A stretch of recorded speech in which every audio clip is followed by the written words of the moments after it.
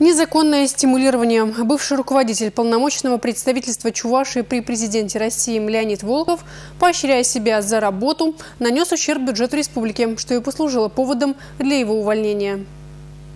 Среди функций Минфина Республики – контроль за финансовой дисциплиной органов власти. Регулярно во всех министерствах, ведомствах и других государственных структурах проводятся плановые проверки. В 2015 году такая проверка, проводимая в полномочном представительстве Чуваши при президенте России, выявила ряд нарушений.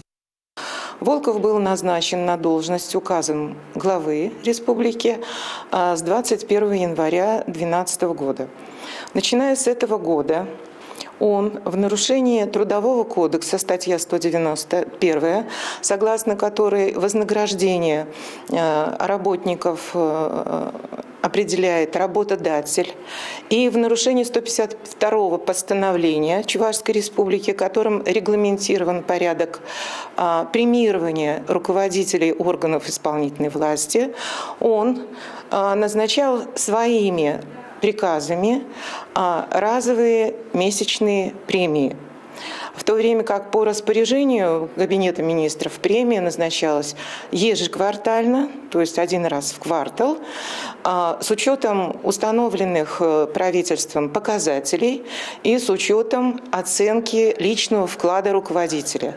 Здесь такой оценки, понятно, не производилось. Он оценивал сам себя и назначал вот такие разовые премии ежемесячно.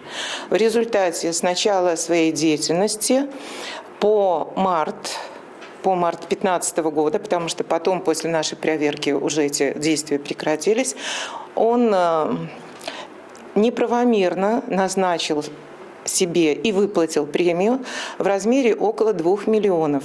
То есть э, в результате вот таких его действий был э, нанесен ущерб бюджету республики в указанной сумме.